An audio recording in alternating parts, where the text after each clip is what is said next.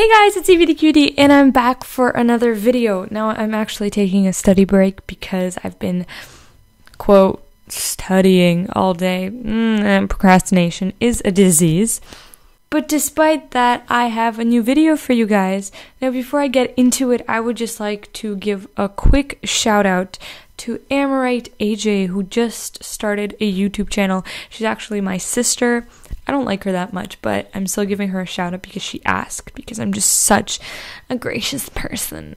Now, if you're an OG Cutie fan, you probably remember my YouTube channel, Animal Jammer Videos. What you probably forgot, though, is that half of those videos were actually uploaded by Evy2, who is my sister, who is Amorite AJ now. Amorite, what is that username? I don't understand it.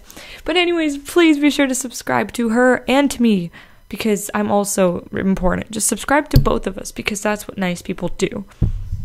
I'm not saying you're not nice, but anyways, now you guys are here for a video and you want to know how to recycle things so that you can get diamonds as opposed to getting gems. And I'm going to teach you because I'm educated.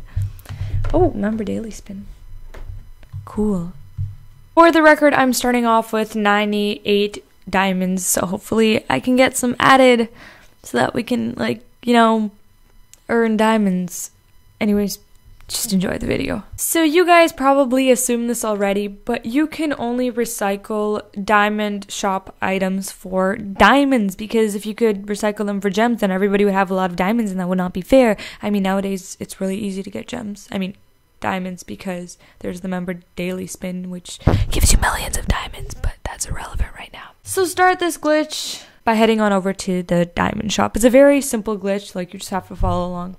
And the items that I'm going to be using, or the one item, because I don't have much time, uh, I'll be using for the video is you have to find something that is in the diamond store as we speak. Are there white feather tail? White feather tails. Okay, perfect. So over here I have a feather tail. It recycles for 300 gems, which I'm pretty sure translates into one diamond. So find the item that you are going to be recycling. Don't buy it because that's not what you have to do. You just have to click on it and then click the diamond.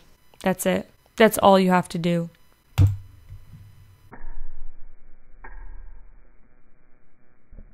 Look at that.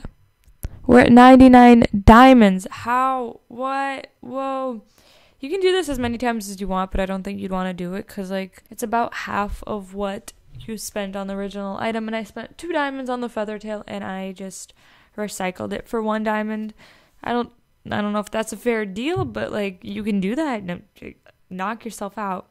So as always, please be sure to like, comment, and subscribe. And as I said before, subscribe to Amorite AJ. Do it because I tell you, and you're influenced easily by society. Okay, bye. Have a good weekend stuff. I'm gonna have a hectic week, and I'm ready to brace it. See ya. Bye.